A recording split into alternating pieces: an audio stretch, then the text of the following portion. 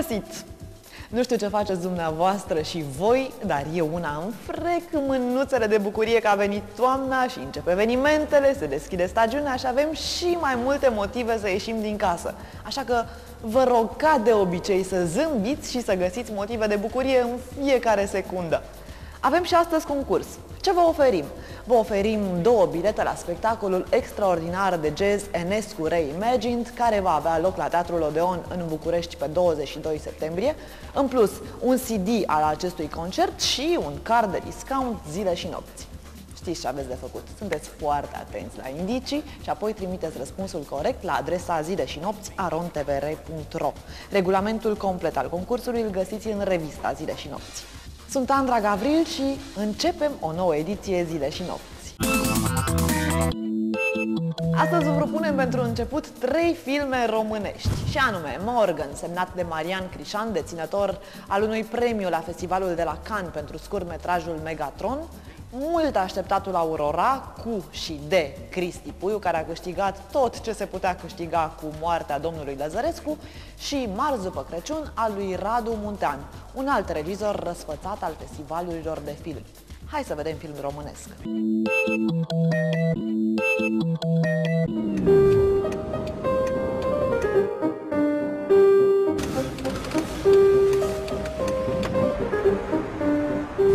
Număr record de filme românești anul acesta pe ecrane. În toamnă uh, ne oprim numai la trei dintre ele, deși și celelalte merită foarte mult să fie văzute.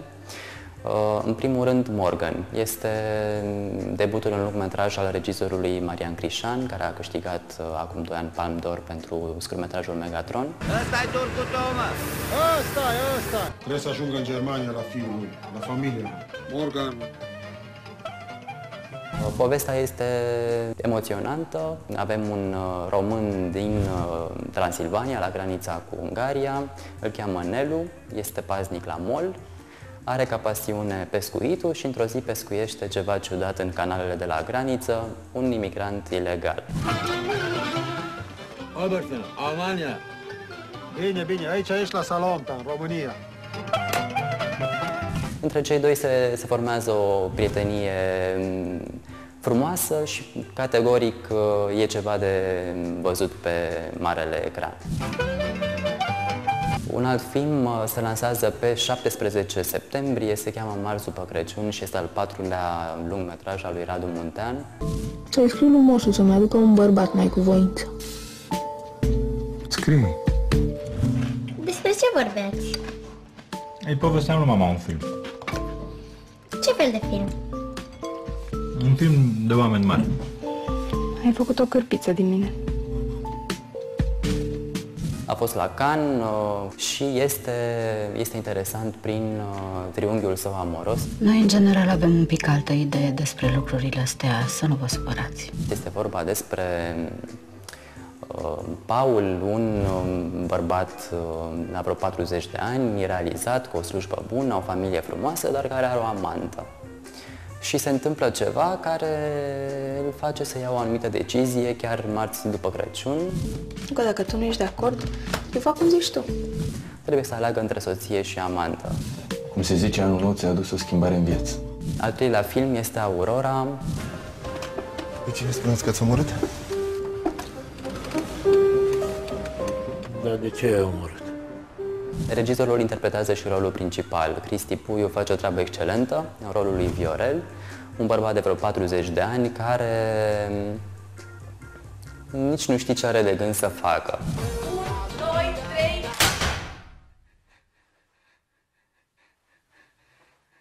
Mai cafea? Da, mai. E categoric de văzut. Sunt doar trei din, uh, din filmele românești care, din cele ze- aproximativ 10 filme românești care ajung la cinema în lunile toamnei. Uh, Mergeți la ele, dar și la celelalte. Toate merită. V-am spus că avem concurs, da? Și că trebuie să fiți foarte atenți la indicii. Avem pentru dumneavoastră două bilete la spectacolul extraordinar de jazz Enescu Reimagined, care va avea loc la Teatrul Odeon din București în 22 septembrie. În plus, un CD cu înregistrarea concertului și un card de discount zile și nopți. Atenție la indicii și trimiteți răspunsul corect la adresa zile și nopți arondtvr.ro Indiciu. Compozitorul român pe care îl căutăm s-a născut în anul 1853 la Șipotele Sucevei. Povestea spune cam așa, un el și o ea, agasați și plictisiți de faptul că viața începe să se reducă la drumul dintre serviciu, casă, casă, serviciu și au spus că trebuie să existe viață și după muncă. Așa că au zis stop și prin evenimente, experiențe, spații de joacă pentru adulți, au început să invite la creativitate.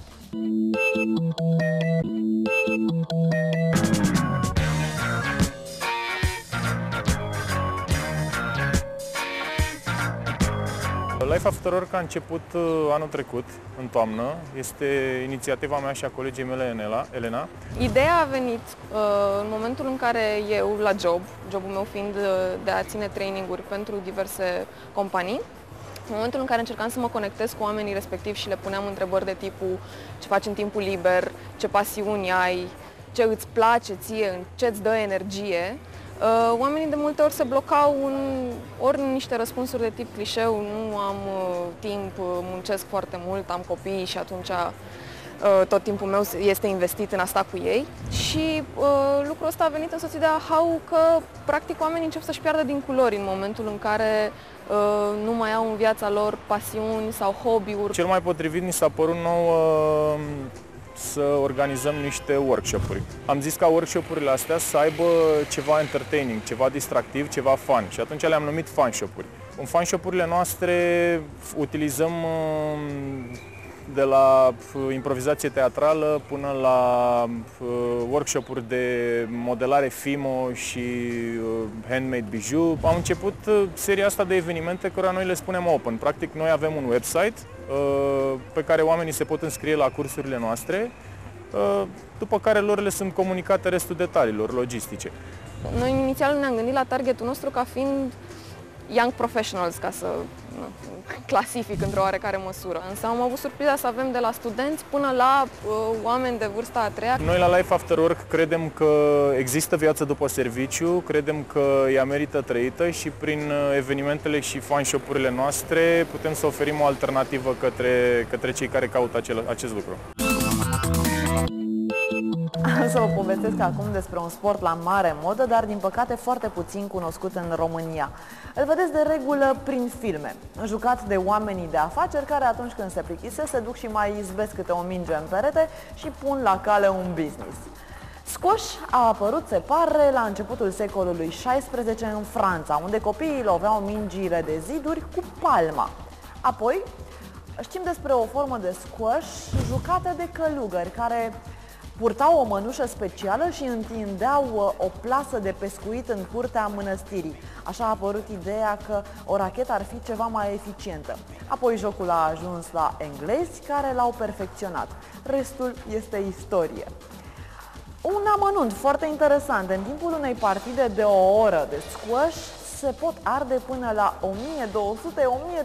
1200-1300 de calorii. În România se joacă, din păcate, doar în câteva locuri. Mie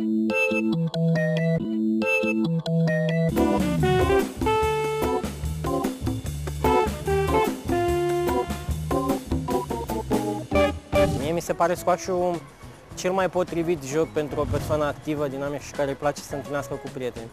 Pe lângă faptul că te întâlnești cu cineva și petreci uh, un timp alergând o oră sau o oră jumate fără să simți că ai alergat o oră jumate, cel mai tare mi se pare că uh, îți uh, scurt-circuitează toate uh, reacțiile.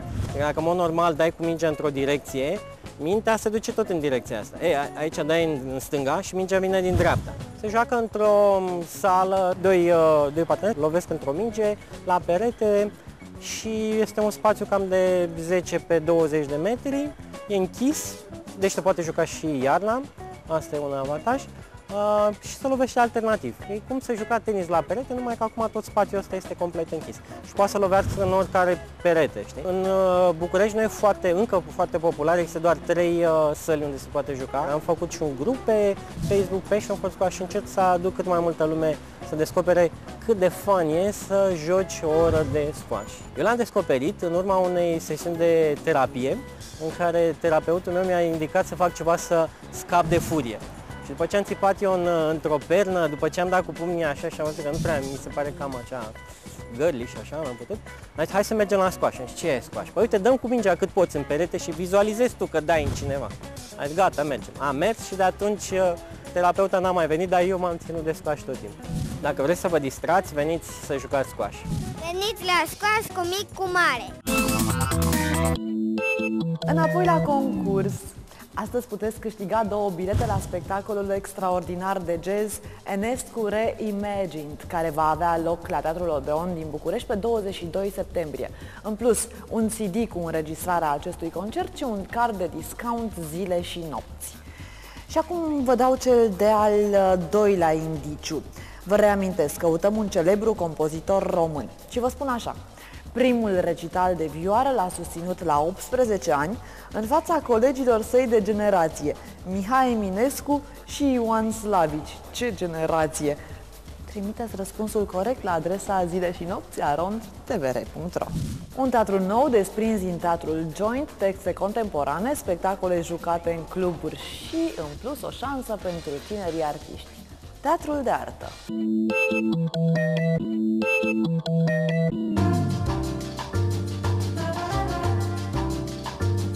Teatrul de Artă București a la ființă de curând, în luna aprilie, undeva după 20. A fost o decizie luată de actorii teatrului Joint de a se desprinde de fosta titulatură. Spectacolele au rămas în mare parte aceleași de la Teatrul Joint, iar acum am încercat să aducem și producții noi. Avem un spectacol regizat de Bogdan Cușanu. Controlați-vă comportarea, tovarășe! Aveți în față un specialist, aș spune chiar mai mult, o femeie. Cum s-ar spune, m-am plăștit. De unde teatru de artă și de ce teatru de artă București? Uh, pentru cei care nu știu, părintele teatrului modern Stanislavski uh, avea un teatru care așa se numea, Teatrul de Artă. Și noi, ca să nu fim confundați cu cei de la Mama Rusia, am zis Teatrul de Artă București, un Stanislavski tribut. Asta și încercăm să facem, atât în abordarea spectacolelor și, și genul de actorie este foarte apropiat de, de uh, ceea ce vrea Stanislavski de la teatru și asta încercăm să facem și noi. Credem că am reușit pe zona de pub tocmai datorită faptului că am abordat lucrurile serios. În rest, apropo de spectacole, avem la ora actuală 8 producții ale noastre proprii. Avem o locație în centrul Bucureștiului unde funcționăm și trăim, pe Șelar, la intersecția cu Lipscani. Din toamnă o să mai avem în Piața Victoriei un spațiu în care am jucat sub fosta titulatură și o să continuăm să jucăm uh, începând cu luna octombrie. Așa că vă așteptăm la teatru în toată țara. Uh, avem la Brașov, stagiune permanentă la Constanța, în București și promitem că o să ajungem în cât mai multe orașe, începând din toamnă, încep festivalurile, așteptăm invitații cu mare drag, uh, venim oriunde chemați.